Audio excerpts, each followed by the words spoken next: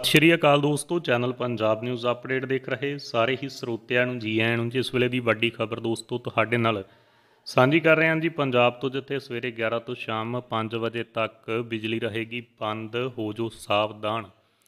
ਜਾਣਨ ਦੇ ਲਈ ਵੀਡੀਓ ਨੂੰ ਅੰਤ ਤੱਕ ਦੇਖ ਲਿਓ, ਤੁਹਾਨੂੰ ਪੂਰੀ ਖਬਰ ਦਾ ਪਤਾ ਲੱਗ ਜਾਏਗਾ। ਵੀਡੀਓ ਨੂੰ ਲਾਈਕ, ਚੈਨਲ ਨੂੰ ਸਬਸਕ੍ਰਾਈਬ ਅਤੇ ਵੀਡੀਓ ਨੂੰ ਵੱਧ ਤੋਂ ਵੱਧ ਸ਼ੇਅਰ ਕਰਨਾ ਨਾ ਭੁੱਲਿਓ।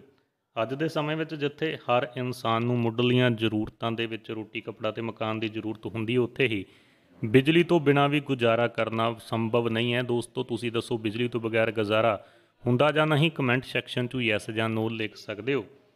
ਖਾਸ ਕਰਕੇ ਗਰਮੀ ਦੇ ਮੌਸਮ ਵਿੱਚ ਲੱਗਣ ਵਾਲੇ ਬਿਜਲੀ ਦੇ ਲੰਮੇ ਕੱਟ ਲੋਕਾਂ ਦੇ ਲਈ ਮੁਸੀਬਤ ਤੋਂ ਘੱਟ ਨਹੀਂ ਹੈ।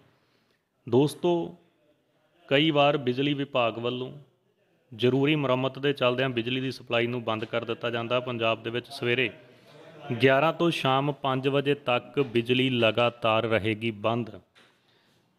ਇਸ ਬਾਰੇ ਜਾਣਕਾਰੀ ਦਿੰਦੇ ਹੋਏ ਸਬ ਡਿਵੀਜ਼ਨ ਖੂਹੀਆਂ ਸਰਵਰ ਦੇ ਜੇਈ ਇੰਜੀਨੀਅਰ ਹੇਤਰਾਮ ਵੱਲੋਂ ਦੱਸਿਆ ਗਿਆ ਕਿ ਬਿਜਲੀ ਦੀ ਸਪਲਾਈ ਜ਼ਰੂਰੀ ਰੱਖ ਰਖਾਅ ਦੇ ਕਾਰਨ ਪ੍ਰਭਾਵਿਤ ਹੋ ਰਹੀ ਹੈ, ਜਿਸ ਕਰਕੇ ਪਿੰਡ ਖੂਹੀਆਂ ਸਰਵਰ, ਤੇਲੂਪੁਰਾ ਤੇ ਪੰਜ ਕੋਸੀ ਵਿੱਚ ਬਿਜਲੀ ਸਵੇਰੇ 11 ਤੋਂ ਸ਼ਾਮੀ 5 ਵਜੇ ਤੱਕ ਬੰਦ ਰਹੇਗੀ। ਬਿਜਲੀ ਸਵੇਰੇ 11 ਤੋਂ ਲੈ ਕੇ ਸ਼ਾਮੀ 5 ਵਜੇ ਤੱਕ ਬੰਦ ਰਹੇਗੀ। Sub station 66 KV. Khuhian Sarwar ਤੋਂ ਚੱਲਣ ਵਾਲਾ 11 ਕੇਵੀ 5 ਕੋਸੀ ਯੂਪੀਐਸ ਫੀਡਰ ਦੀ ਬਿਜਲੀ ਸਪਲਾਈ ਜ਼ਰੂਰੀ ਰੱਖ ਰਖਾਅ ਦੇ ਕਾਰਨ ਸਵੇਰੇ 11 ਤੋਂ ਸ਼ਾਮ 5 ਵਜੇ ਤੱਕ ਬੰਦ ਰਹੇਗੀ, ਜਿਸ ਬਾਰੇ ਉਸ ਖੇਤਰ ਦੇ ਲੋਕਾਂ ਨੂੰ ਪਹਿਲਾਂ ਹੀ ਜਾਣਕਾਰੀ ਮੁਹੱਈਆ ਕਰਵਾ ਦਿੱਤੀ ਹੈ। ਤਾਂ ਜੋ ਲੋਕਾਂ ਨੂੰ ਕਿਸੇ ਮੁਸੀਬਤ ਦਾ ਸਾਹਮਣਾ ਨਾ ਕਰਨਾ ਪਵੇ। ਧੰਨਵਾਦ।